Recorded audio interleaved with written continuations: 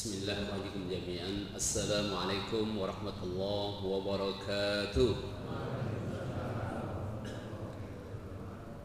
Alhamdulillahi rabbil alamin Wa bihi nasta'in Wa ala umuri dunya wa din. Wassalatu wassalamu ala ashrafil anbiya al-mursalin Sayyidina wa maulana Muhammadin Wa ala alihi wa sahbihi asma'in wa ba'du. Alhamdulillah dan syukur mari kita panjatkan kepada Allah Subhanahu wa taala atas karunia-Nya sehingga kita dimudahkan oleh Allah Subhanahu wa taala untuk melaksanakan ibadah salat subuh dan fadilah keutamaannya luar biasa.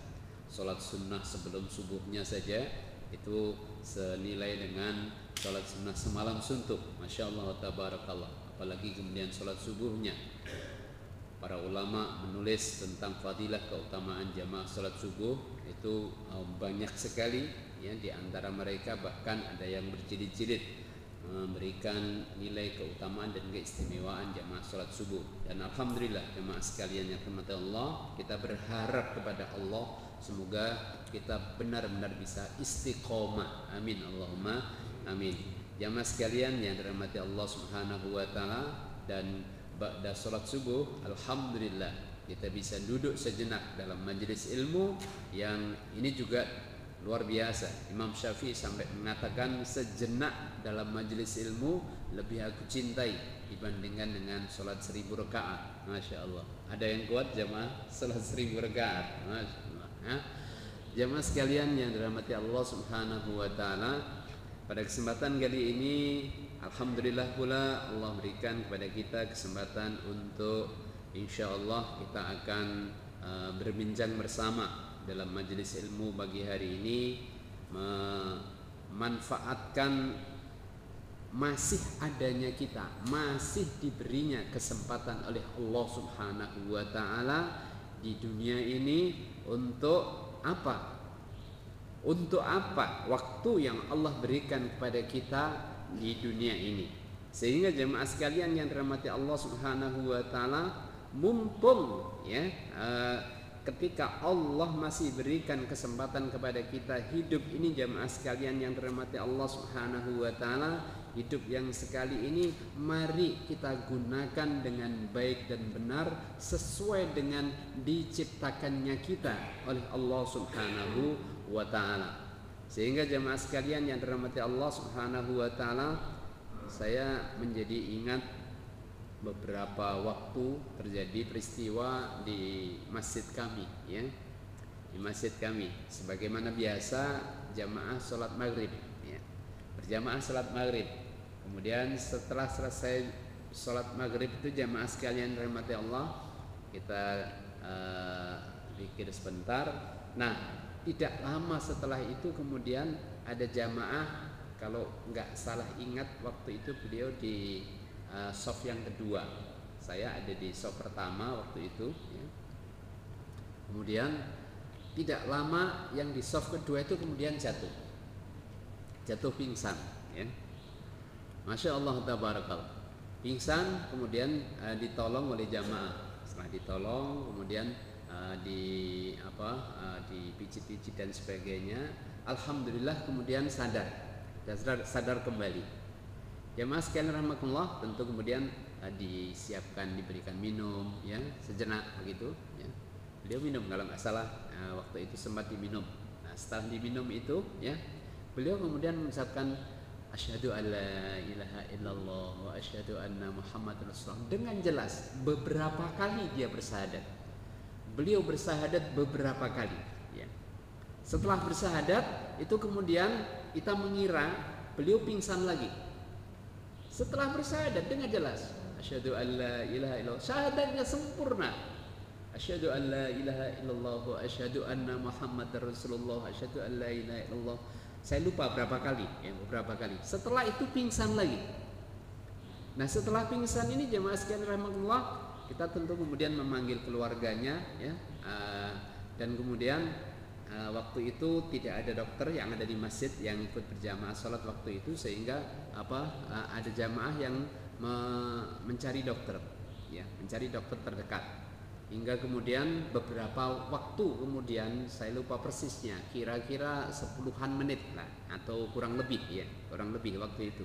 Dokter 10 atau 15 eh, menit begitu datang nah ketika dokter itu datang kemudian dicek oleh dokter itu ternyata jamaah sekalian Allah beliau sudah dipanggil oleh Allah Subhanahu wa taala ya tentu kemudian uh, keluarga sedih dan sebagainya. Tapi jamaah sekalian yang rahmati Allah Subhanahu wa taala, peristiwa yang kami saya langsung melihatnya sendiri, jamaah kami waktu itu langsung melihatnya sendiri. Kemudian memastikan dan menyaksikan. Insya Allah semua yang hadir menyaksikan bahwa beliau adalah ahlul masjid. Beliau aktif luar biasa. Berangkatnya dari rumah ke masjidnya itu naik sepeda motor begitu kan? Ya, sudah kembali. Masya Allah tabarakallah. Jamaah sekalian yang dirahmati Allah subhanahu wa taala peristiwa seperti itu saya kira mungkin di antara jamaah ada beberapa yang mungkin pernah melihatnya saya juga pernah melihat ya langsung ini itu langsung bersama dengan jamaah langsung melihat bagaimana seseorang yang ketika kemudian dipanggil oleh Allah Subhanahu wa taala. Ayah kami waktu itu ya uh, memang sakit sebelumnya tetapi sakit beberapa hari di rumah sakit kemudian pulang kemudian kalau nggak salah masuk lagi ke rumah sakit cukup lama ya setelah itu kemudian pulang dan alhamdulillah alhamdulillah dipanggilnya ketika kita semuanya ada di rumah tersebut. Jamaah sekalian yang dirahmati Allah Subhanahu wa taala ini peristiwa-peristiwa yang seperti itu harus dan layak sangat penting dan sudah seharusnya bagi kita untuk benar-benar menjadi kewajiban bagi kita untuk menyadari betapa sesungguhnya hidup yang ada di dunia ini sebentar saja bila kemudian dibandingkan kehidupan sesudahnya. Coba kita bayangkan jamaah sekalian yang dirahmati Allah, orang yang sudah wafat sekian lama. Rasulullah sallallahu alaihi wasallam, para sahabat Nabi sallallahu alaihi wasallam, 14 abad lebih jamaah sekalian yang dirahmati Allah, mereka sudah mendahului kita. Bahkan mungkin sebagian dari orang-orang tua kita, mereka telah sekian lama mendahului kita. Berapa lama lagi dunia ini jamaah sekalian rahmati Allah bagi mereka yang ada di kubur jamaah sekalian yang dirahmati Allah apakah mereka melakukan atau merasakan siksaan Allah Subhanahu wa taala naudzubillah ataukah bahkan kemudian mereka menerima atau merasakan kenikmatan Allah Subhanahu wa taala? Bagi mereka itu adalah waktu yang sangat sebentar apalagi ketika kemudian kehidupan kita ini jamaah sekalian yang rahmat Allah dibandingkan dengan kehidupan sesudah mati maka sejenak saja karena kehidupan sesudah mati itu jamaah sekalian rahmati Allah Subhanahu wa taala selamanya. Karena itu jamaah sekalian yang dirahmati Allah Subhanahu wa taala ada pelajaran berharga yang layak benar untuk kita ingat tatkala Rasulullah sallallahu alaihi wasallam mengingatkan bahwa jamaah sekalian yang dirahmati Allah Subhanahu wa taala tatkala kita masih hidup di dunia ini gunakan kesempatan di dunia ini dengan sebaik-baiknya. Kalau di dalam pikiran kita ketika kita ingat kematian maka ingatlah sesungguhnya kematian itu akan datang besok hari paling tidak jamaah sekalian yang rahmati Allah. Kalau bahasanya orang pedagang mohon maaf ya eh, pedagang yang 24 jam sekarang banyak apa Pak? dagang Mandura ya. Dagang Mandura itu kan uh, buka terus ya, tutup setengah hari di hari kiamat ya, Masya Allah guyonannya. Nah jamaah sekalian rahmati Allah Subhanahu wa taala bahkan ada hadis Nabi sallallahu alaihi wasallam seandainya kiamat itu datang esok hari maka ya pergunakan kesempatan hidup itu bahkan ketika Anda harus menanam ya tanaman yang tumbuhnya itu cukup lama, tanamkan saja.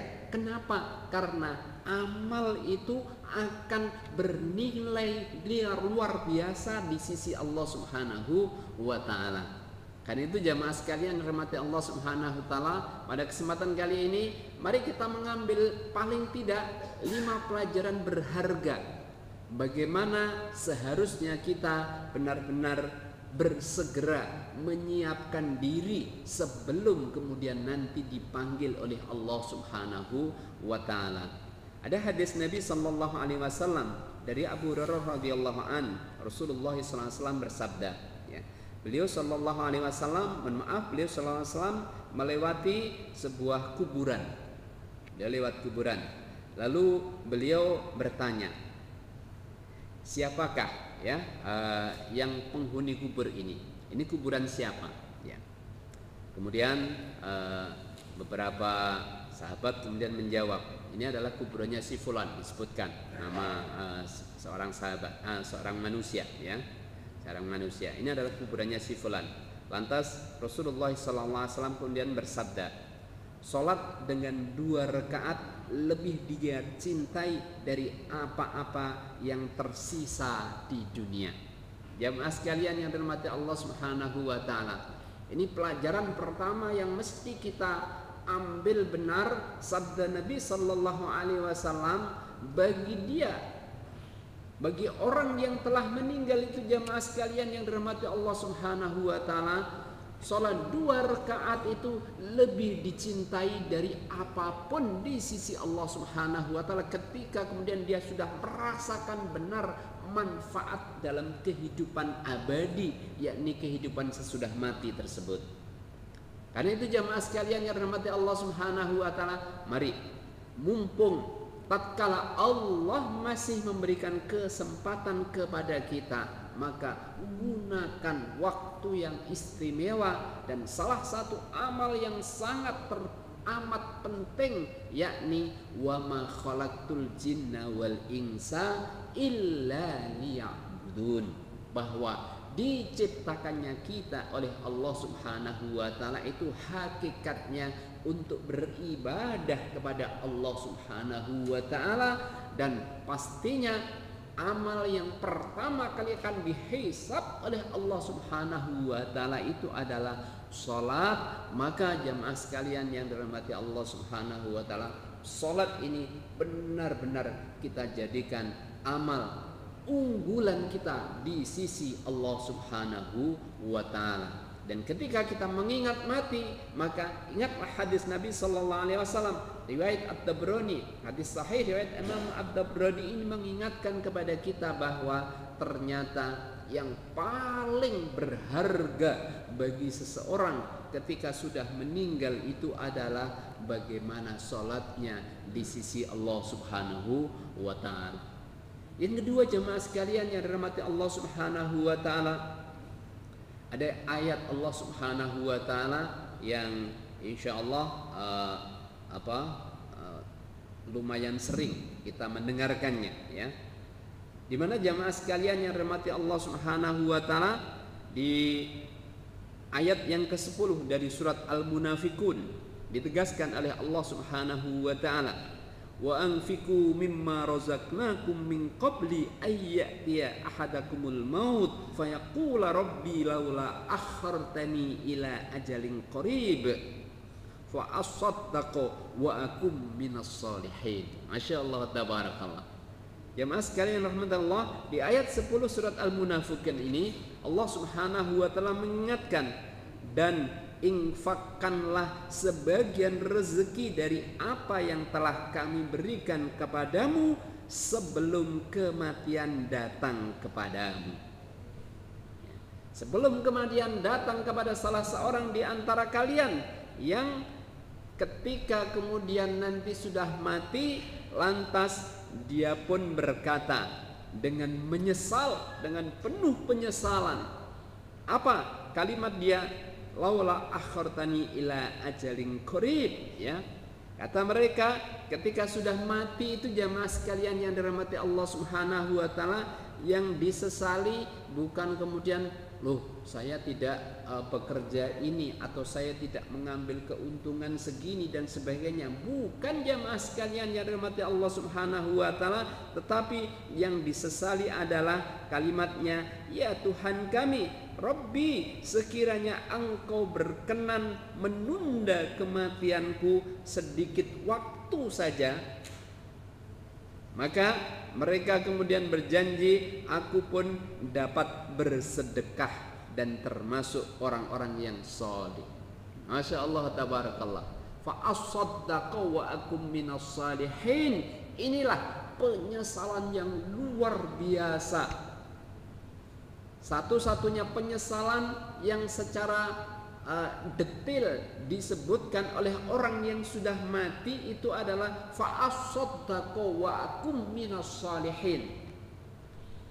Yang lain nanti kita akan membahas setidaknya lima hal utama penyesalan orang. Tetapi ya penyesalan yang lain sifatnya umum.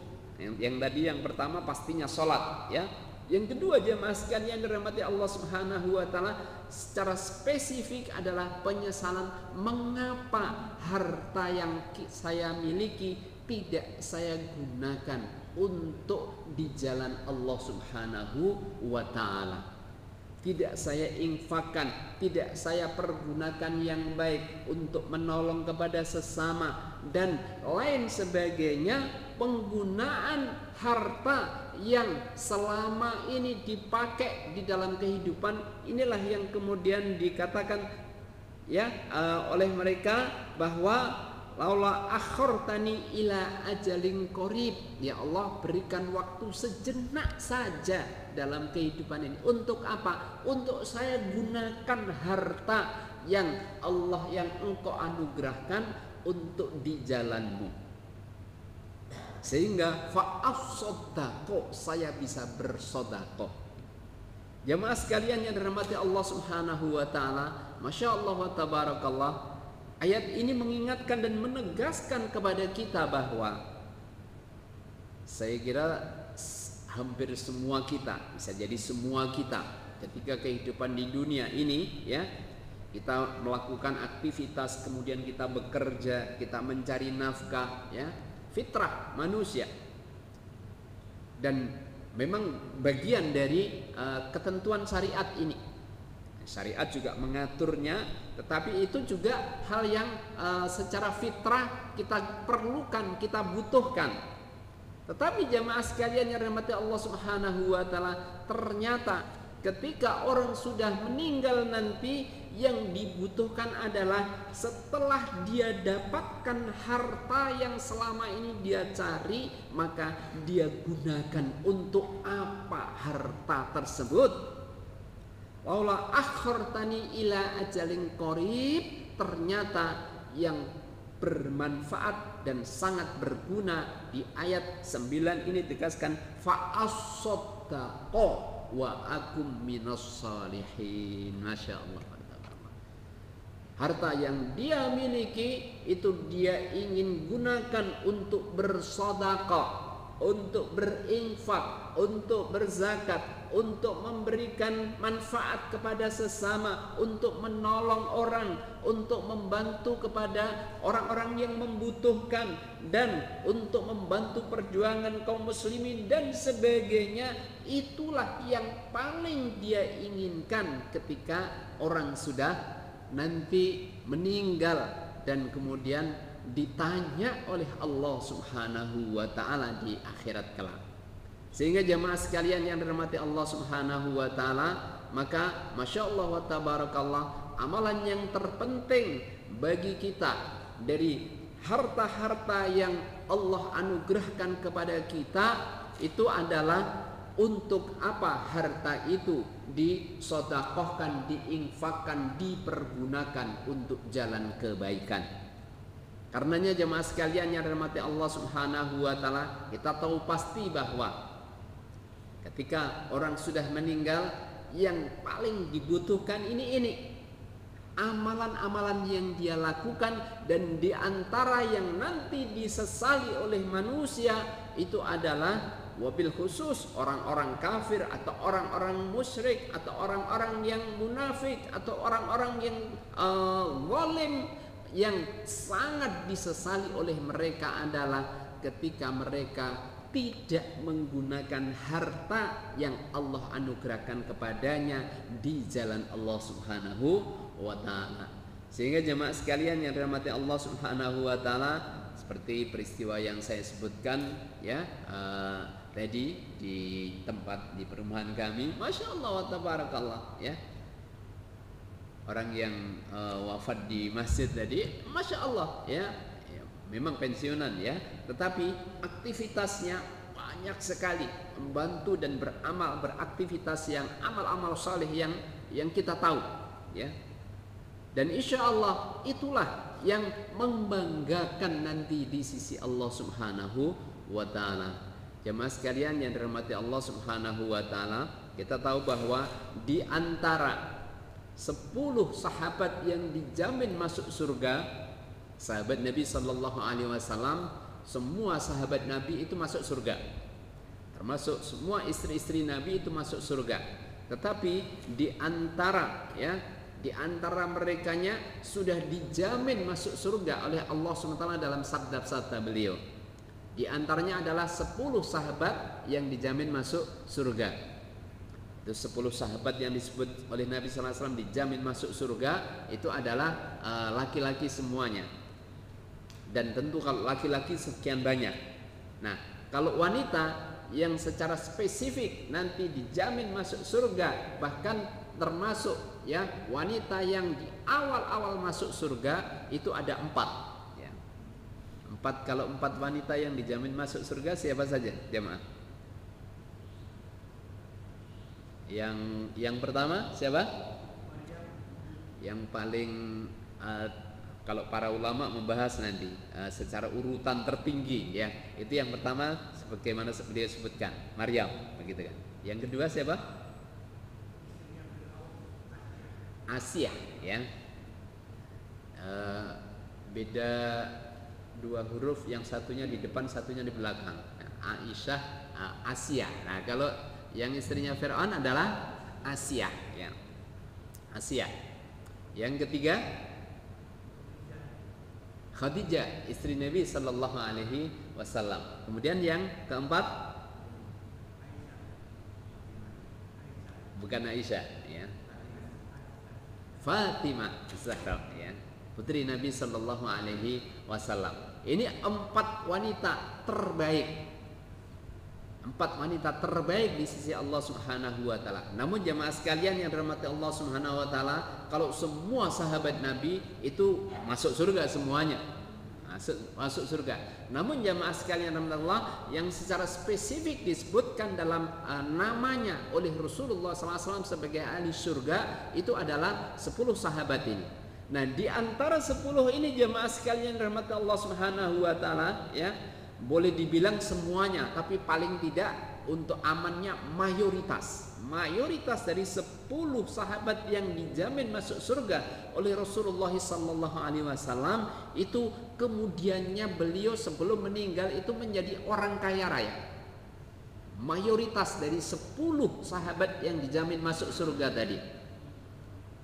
Dan pertanyaan pentingnya adalah Terus kalau mereka kaya semuanya apa yang mereka lakukan?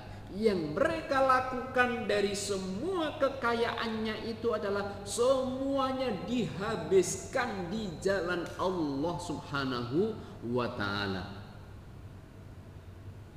Walaupun nggak habis, tetapi kes, apa keinginan kesempatan untuk menghabiskannya itu luar biasa. Misalnya Abdurrahman bin Auf Abdurrahman bin Auf itu ingin sekali untuk menghabiskan hartanya di jalan Allah Subhanahu wa taala. Kenapa beliau ingin menghabiskan jamaah sekalian rahmatullah? Karena disebutkan oleh Nabi Sallallahu Alaihi Wasallam dalam hadis beliau bahwa ya orang yang memiliki harta itu nanti masuk surganya. Kalau toh kemudian diputus, diputuskan Allah masuk surga itu lama karena dihisapnya lama, dihisap hartanya. Nah, karena itu kemudian Abdurrahman bin Auf menghabiskan hartanya bahkan di antara peristiwa yang fenomenal adalah waktu itu waktu itu ya beliau ingat sekali hadis Nabi Sallallahu Alaihi Wasallam bahwa orang yang memiliki banyak harta itu nanti lama masuk surganya karena dihisap ditanyakan dengan detail semua harta yang didapatkannya. Maka kemudian beliau ingin menghabiskan hartanya ingin diinfakkan, disodakohkan dengan baik dan benar. Maka jemaah sekalian rahmatan Allah SWT setelah kemudian sudah yang membutuhkan bantuan, yang membutuhkan pertolongan, yang membutuhkan pinjaman dan sebagainya, semuanya diberikan. Tapi masih sekian banyak yang dimiliki. Akhirnya jemaah sekalian rahmati Allah, beliau tahu pada waktu itu beberapa panen kurma itu ada kurmanya yang apa uh, kurang baik ada yang kurang baik, ada yang busuk dan sebagainya. Akhirnya Abdurrahman bin Auf mengambil ini sebagai kesempatan bagi saya untuk menghabiskan harta saya. Dibeli ya, dibeli karena uh, apa para para petani apa uh, pemilik kurma yang namanya kurma busuk berarti dijual dengan harga jauh lebih murah ya. Kalau perlu bahkan mungkin dibuang ya Udah, sudah Abdurrahman bin Auf kau mau beli berapa silahkan atau udah ambil saja ya. Tapi dibeli oleh Abdurrahman bin Auf ya. Baik, dibeli dengan harga murah. Namun jamaah sekalian